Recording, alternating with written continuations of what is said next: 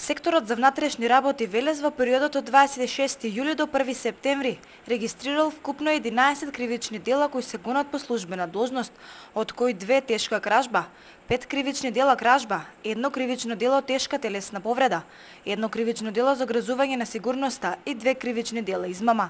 Златен накид, мобилни телефони и мопед. Ова биле предмети што најчесто биле мета на велешките арами при извршувањето на делата тешка кражба и кражба. Во овој период велешката полиција регистрирала 6 нарушувања на јавниот ред и мир, односно 4 нарушувања физички напад, едно нарушување на јавниот ред и мир, омаловажување на службено лице при вршење работа на безбедност и едно нарушување на јавниот ред и мир со карање и викање на висок тон. На подрачјето на СВР Велес во изминатиот анализиран период регистрирани се вкупно 7 сообраќајни несреќи, од кои 3 во населено и 4 надвор од населено место. Во несреќите 6 лица се здобиле со телесни повреди.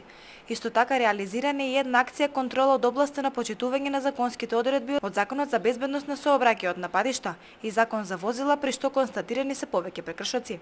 Во деновите 26, 30, 31 јули и на 1 септември, во време од 12 часот по полноќ до 2 часот, од страна на полициски службеници од полициската станица, извршени се контролни служби во гостителските објекти, лоцирани на градското подрачје. При тоа не се констатирани прекршоци или кривични дела. Во текот на викендот на подрачјето на град Велес регистрирани се едно кривично дело измама, едно кривично дело за огрозување на сигурноста и две нарушувања на јавниот ред и мир.